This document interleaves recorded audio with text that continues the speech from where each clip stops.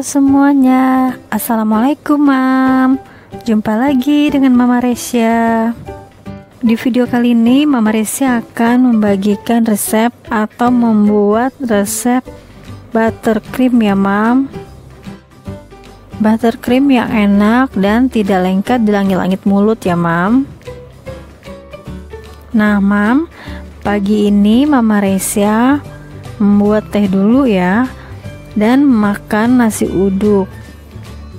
Tadi Mama Resya ke depan mencari sarapan, kebetulan di rumah tidak ada yang mau dimakan untuk sarapan ya Mam ya.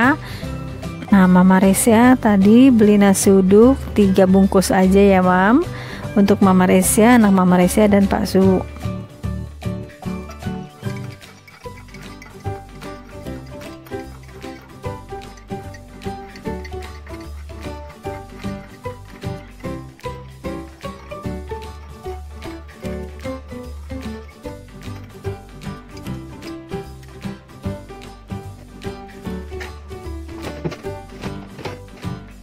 Dan ini tehnya sudah siap diminum dan Mama Reza tinggal menaruhnya atau ngasihnya ke Pak Su dan anak-anak.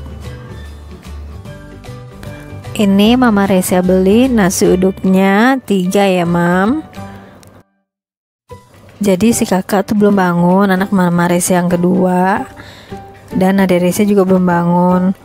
Biasanya dia sarapannya maunya bubur ayam mam. Kalau nasi uduk itu agak kurang mungkin karena agak apa namanya banyak atau berat ya mam ya. Jadi dia kurang.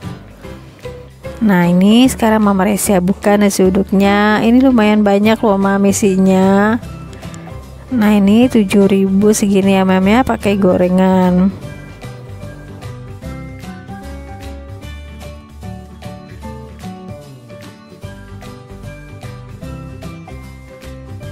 lumayan mam. Uh, untuk ngeganjal perut nasi uduk ini bisa tahan sampai jam 12 kadang mam pas makan siang. Nah ini udah kenyang sampai jam 12 gitu ya mam ya. Nanti paling mama Reza dan keluarga tinggal makan siang aja lagi mam.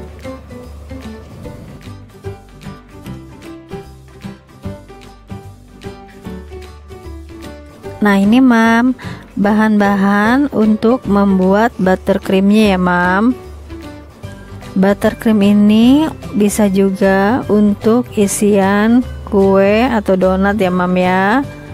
Dan untuk menghias kue ulang tahun juga bisa ya mam. Nah adapun bahan dasarnya yaitu mentega putih 500 gram Gula halus 100 gram Susu kental manis 100 gram Mama Reza pakai frozen flake dan 1 sendok makan vanili. Mama Reza memakai vanili cair ya mam. Bisa juga dengan vanili bubuk.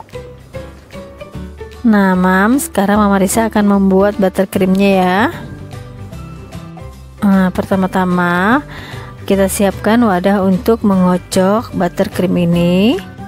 Masukkan 500 gram mentega putih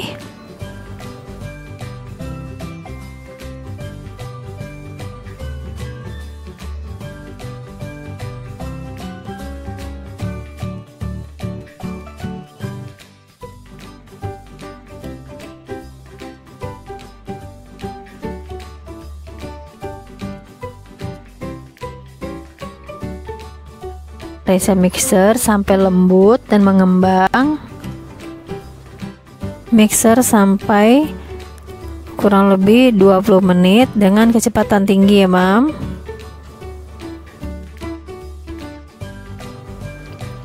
Nah ini mam adonan mentega putihnya sudah kelihatan mengembang dan ringan. Lalu mixernya bisa kita matikan atau Mama Risa matikan ya Mam.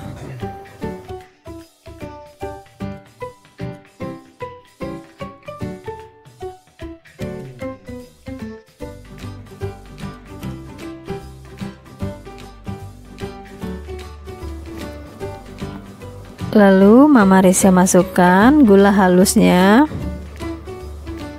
Sebelumnya tadi gula halus ini sudah Mama Risa saring ya Mam. Biasanya kalau di gula halus ini kan suka ada gerendil-gerendil kayak batu-batuan kecil gitu ya Mam ya. Jadi harus kita saring.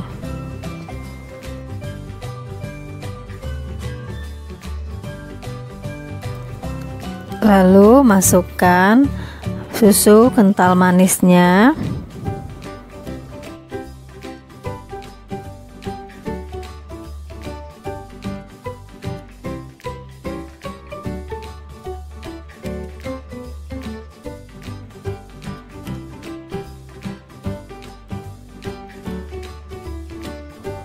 Lalu masukkan vanili cair.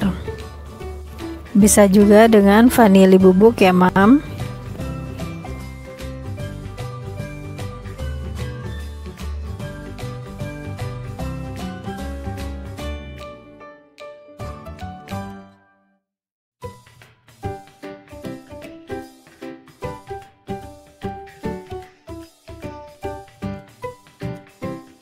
Nyalakan mixernya lagi di mixer dengan kecepatan sedang kira-kira 5-10 menit sampai adonannya rata. Nah ini ya mam ya adonannya sudah mulai mengembang lembut dan juga ringan. Teksturnya juga sudah kelihatan ya mam Lalu mixernya Mama Reza matikan ya Mam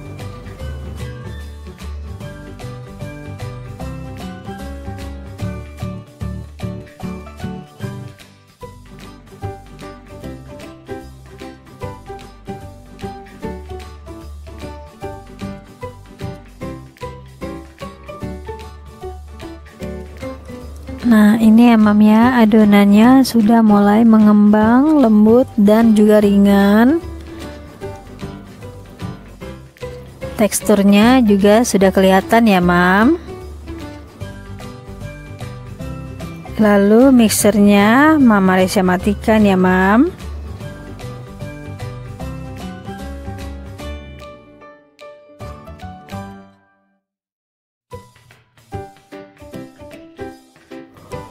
buttercreamnya sudah jadi. Sekarang tinggal Mama Resa kasih pewarna makanan sesuai dengan selera ya Mam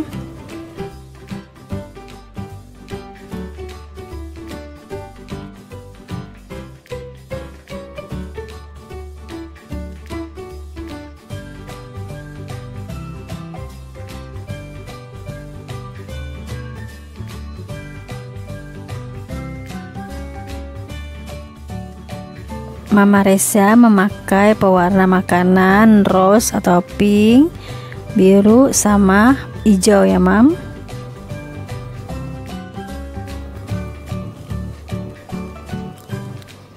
Nah, di sini Mama Reza kasih warna pink atau rose ya, Mam.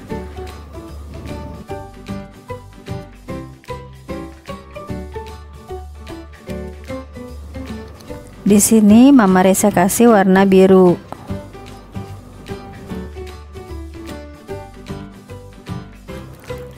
Lanjut, di sini Mama Reza kasih warna hijau atau pandan ya, Mam.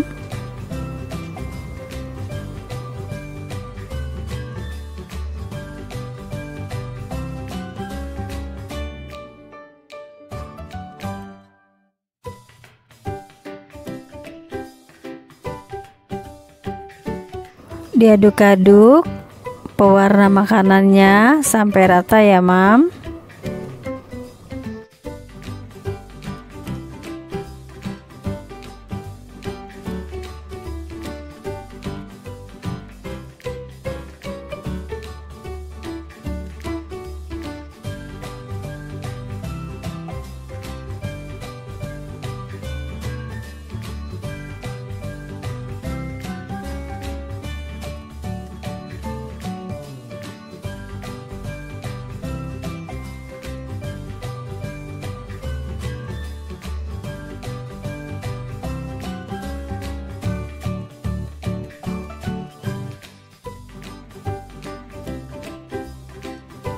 Nah ini mam.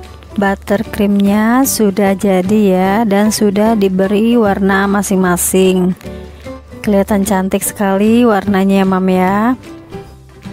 Buttercream ini manis dan juga tidak lengket di langit-langit mulut ya mam.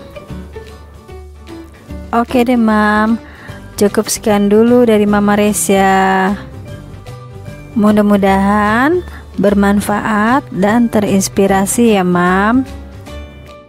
Terima kasih yang sudah menonton video Mama Resya dari awal sampai selesai. Sampai ketemu di video Mama Resya selanjutnya. Bye. Assalamualaikum